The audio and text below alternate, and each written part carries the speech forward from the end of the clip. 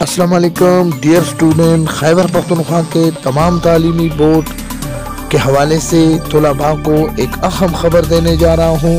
اگر آپ class nine کے اسٹوڈنٹ ہو یا کلاس ٹین کے اسٹوڈنٹ ہو یا فرسٹ ایئر یا سیکنڈ ایئر کے اسٹوڈنٹ ہو، تو اس حوالے سے آپ کے ساتھ ایک اہم خبر شیئر کرنے جا رہا ہوں۔ جیسے کہ آپ کو معلوم ہے کہ ہم اسی چینل سے آپ کو تعلیمی اپڈیٹ دیتے رہتے ہیں اور ہر وقت ہماری کوشش ہوتی ہے کہ ہم آپ کو ویلڈ اور ریئل اپڈیٹ دے۔ تو اس حوالے سے، لیکن اس سے پہلے اگر آپ ہمارے چینل میں نئے ہو، تو لازمی طور پر سر قاسم کی اس چینل کو آپ سبسکرائب کریں اور ساتھ بیل آئیکن بھی پریس کرے۔ اسکولوں کے حوالے سے اگزام کے حوالے سے ایک اہم خبر، خیبر پختونخوا کے تمام تعلیمی بورڈ کے حوالے سے ایک اہم خبر آپ کے ساتھ شیئر کرنے جا رہا ہوں۔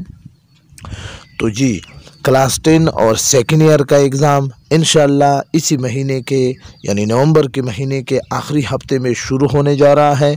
تمام اسٹوڈنٹ اسی سیناریو کے ساتھ، اسی سمارٹ سلیبس کے ساتھ اور اسی طرح میٹرک میں چار پیپر، چار الیکٹو پیپر اور جبکہ انٹرمیڈیٹ یعنی سیکنڈ ایئر میں صرف تین پیپر الیکٹو کی دیں گے، جبکہ نائنتھ اور فرسٹ ایئر کے لیے پرومیٹ کے لیے دن بھی ابھی باقی ہے۔ اگر کوئی اسٹوڈنٹ داخلہ کرنا چاہتا ہے تو چوبیس نومبر تک اس کے داخلہ کیے جائیں گے۔